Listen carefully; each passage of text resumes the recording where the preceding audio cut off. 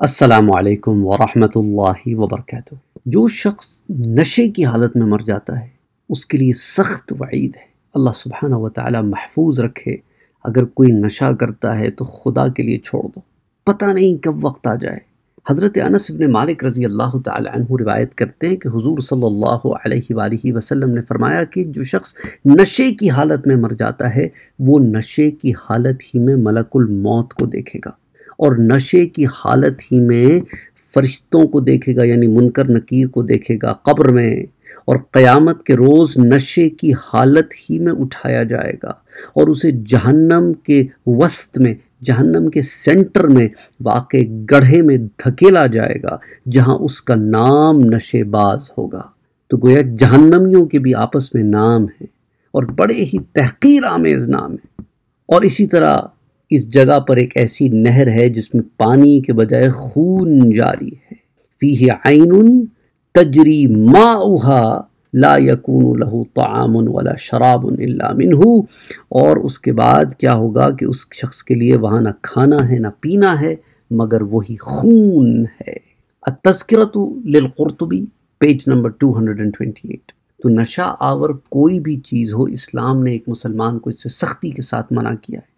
क्योंकि मनशियात के इस्तेमाल से हलाकत आफरीन नुकसान होते हैं। और याद रखें, शरीयत ने उसी चीज़ को हराम करार दिया है जो कि इंसान के लिए तकलीफ़ दे मगर एक बेअल आदमी, बदनसीब आदमी ऐसी चीज़ों का इस्तेमाल करता है और अल्लाह रब इज़्ज़त ने जो उसको इनामात दिए हैं, जो माल दिया है, उसको गलत मसारफ में ख़र्च करता है। और आप ये देखें, हमारे यहाँ हुक्का और सिगरेट नोशी किस कदर आम हो गई है। एक वबा की तरह हर घर में बाप भी पी रहा है, बेटा भी पी रहा है, शर्म नहीं है, कोई हया नहीं है। अच्छा फिर हमारे यहाँ औरतों औरतों ने भी उसे जो पीना शुरू कर दिया है, और वो भी एक, आप देखें ना, एक बेराहरवी सी रखती है। मर्दों के लिए भी उसी तरह मना है जैसे औरतों के लिए मना है ये इसे हकूक़ नस्वा में डाल देती हैं, कहती हैं, अगर तुम पीते हो तो ठीक है, हम पीते हैं तो ठीक, नहीं नहीं, दोनों का पीना गलत है।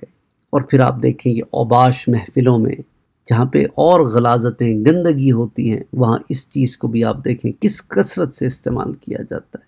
और कोई अंदर एहसास नहीं है कि मैं गलत काम कर रहा हूँ। तम्बाकू नोशी के कम से कम पाँच नुकसान तो ज़ाहिर हैं, जो कि सब के सब बड़े फ़िक्र अंगेज़ भी हैं और हलाकत खेज भी हैं। एक तो वक्त ज़ाया, जिसका आपने हिसाब देना है क़्यामत में, माल ज़ाया, उसका भी हिसाब देना है। सेहत के लिए ख़राब, उसका भी हिसाब देना, पोलूशन आप अलग कर रहे हैं। फिर उसके अलावा आप दूसरों को भी नुकसान पहुँचा रहे हैं, क्योंकि सेकंड हैंड स्मोकिंग जो है, वो तो फ़र्स्ट हैंड से भी ज़्यादा वर्स्ट है। तो इसलिए खुदा के लिए इन चीज़ों से बचें।